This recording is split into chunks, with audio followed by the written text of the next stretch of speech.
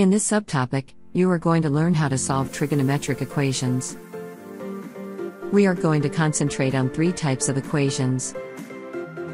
The first type of equations is basic trigonometric equations, sine of x equal to k, cosine of x equal to k, and tangent of x equal to k. To solve these equations, we have to follow a few steps in order to get all the solutions in the given interval. First, we have to determine the quadrant in which the trigonometric ratio is located.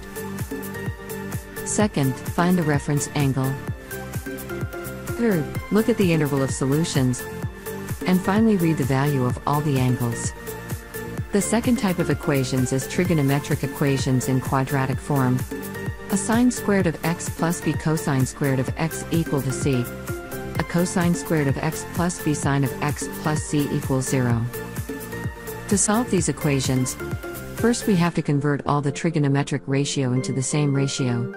Usually, we are going to use trigonometric identities. The next step is solving the quadratic equations. Finally, we have to solve the basic equations. The third type of equations is trigonometric equations in form a sine of x plus or minus b cosine of x equal to c. There are two methods to solve it. The first method is by using substitution, t equal to tangent of x over 2. I'm not going to elaborate this method. We're going to look at it in another video. The second method of solving the third type of equation is by converting a sine of x plus or minus b cosine of x2, our sine of x plus or minus alpha, or a cosine of x plus or minus alpha. I'm not going to elaborate this. Don't worry. We're going to see it in another video. Now, I'm going to show you two examples on how to solve basic trigonometric equations. Suppose we wish to solve the equation tangent of theta plus 1 equal to 0. For all values of theta, lying in the interval from 0 to 360 degrees. To solve the equation, first we have to isolate tangent of theta, by subtracting 1 from both sides of the equation. Here we have tangent of theta equal to negative 1. To solve this, first we have to determine the quadrants of negative tangent.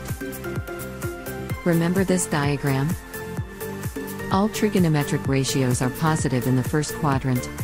Only sine is positive in the second quadrant, meaning that cosine and tangent are negative in the second quadrant.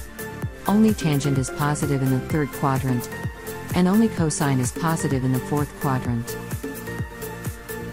Because tangent is negative, this means theta is located in the second and the fourth quadrants.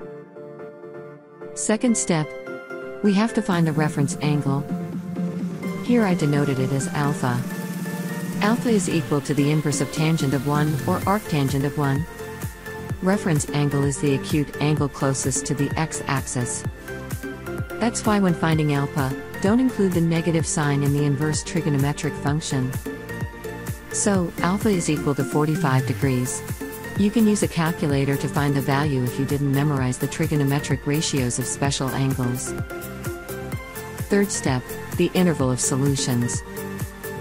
From the question, it is given that theta is from 0 to 360 degrees. We don't have to change it because from the equation, we want to solve for theta.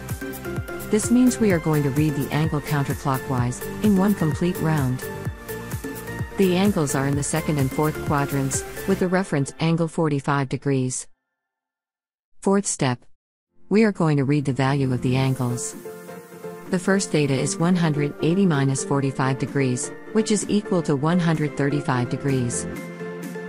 The second theta is 360 minus 45 degrees, which is equal to 315 degrees. Finally, we conclude the answers. There are two solutions for the equation. In this second example, we want to solve the trigonometric equation secant of 2 theta equal to 2 for theta between 0 to 360 degrees. To solve the equation, simply turn it into an equation involving the more familiar function, cosine. Secant of 2 theta is equal to 1 over cosine of 2 theta. Rearrange the equation. We have cosine of 2 theta equal to 1 over 2. Cosine positive is in the first and fourth quadrants. The reference angle is arc cosine of 1 over 2, which is equal to 60 degrees.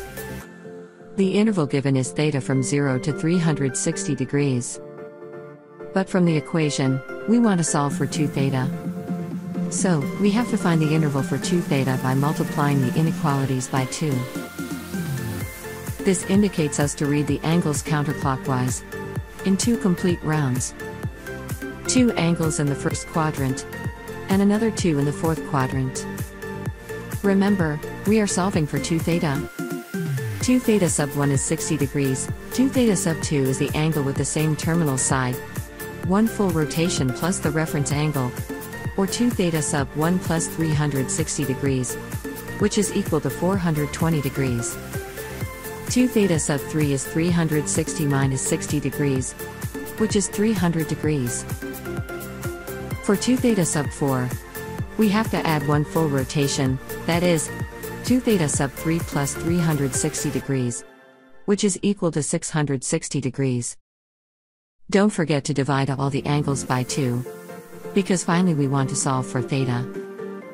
So, altogether, we have four solutions for theta.